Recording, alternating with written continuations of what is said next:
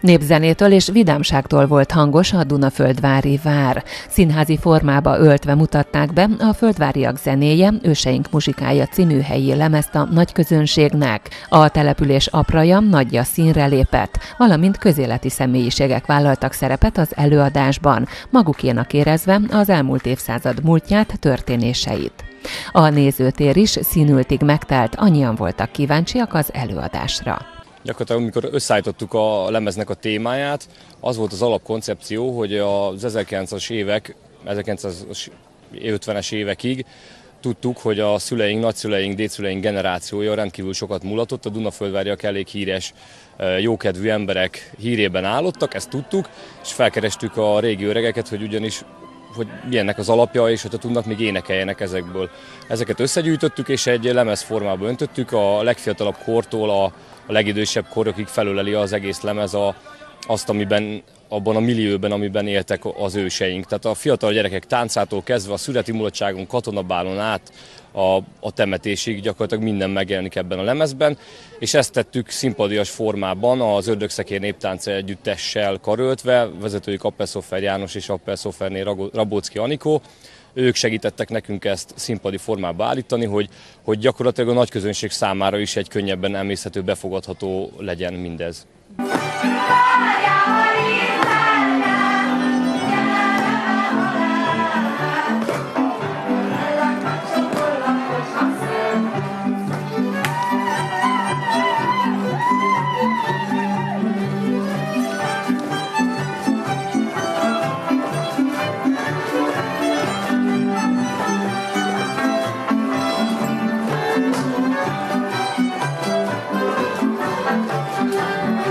Bátyám volt az első ötletgazda, 2009-ben egy helyi cimbalmos bácsit keresett föl, és annyira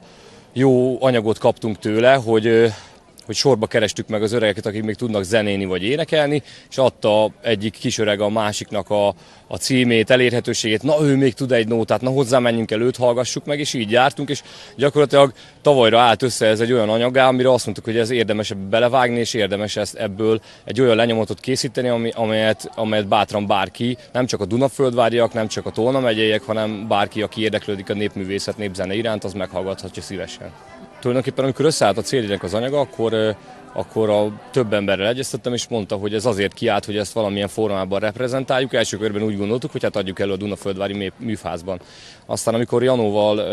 a táncültes vezetőjével egyeztettem, aki egyébként a koreográfiát készítette, elmondta, hogy hát ez, ez sokkal nagyobb volumenű előadást igényel, egy sokkal nagyvonalúbb helyszínt, és itt akadtunk rá a várra, ahol a táncültesnek már több előadása volt, és úgy gondoltuk, hogy ez méltó, mód, méltó hely arra, hogy ezt az egészet megtartjuk. Lesz 8 zenész, 4 énekes, továbbá kb. 50 táncos lesz a, a színpadon váltakozva 845-ben maga Rózsa völgyi jött leértük, fölvitte őket Pestre, ahol aztán kávéházakban, vendéglőkben, bálokban, és mennyegzők alkalmával hallották a legtisztább magyar zenét, sőt, művészetükben tökélyes bővén Párizs, London, Berlin, Szentpétervár és Lembergen át körútban csak nem egész Európát beutazták, és bámulatba ejtették mindenhol hallgatóimat. Másfél órás műsorról van szó, gyakorlatilag egy 1832-es leírással, illetve régi képvetítéssel indul, amelyet Őze Áron fog felolvasni. Utána elkezdődik a fiataloknak a táncai, szüreti mulatság, aztán ahogy haladunk előre a korban, legényélet katonatáncok, és utána bevonjuk a nézőtér sorai közül 81 éves Fekete Mihályné Maris nénit, aki egy, egy nagyon szeretett tagja gyűjtéseinknek, illetve a néptánc együttesnek a barátja. Ő fog segíteni nekünk Fafka Julcsi mellett, aki egyébként a lemezen az alap énekes, és utána velük együtt folytatódik tovább a, gyakorlatilag egy alapvetően egy vonós zenéről van szó, aztán bekapcsolódnak fúvós zenések, zenészek is ebben, a, ebben az előadásban, majd tovább folyik, és lesz néhány szimpadias elem, egy-két próza, egy-két vers Pataki Dezső közreműködésével, illetve Halmos Attila fog még az énekben segíteni. És mindezt megfejeljük az Ördögszekér Néptánc Együttes táncával, és így fog kerek egész lenni az előadás. Tudjuk nem csak a Dunaföldváriak érdeklődtek, hanem nagyon sok környékbeli is jött, aki valamilyen szinten kötődik vagy Dunaföldvárhoz, vagy egyáltalán a népzenéhez.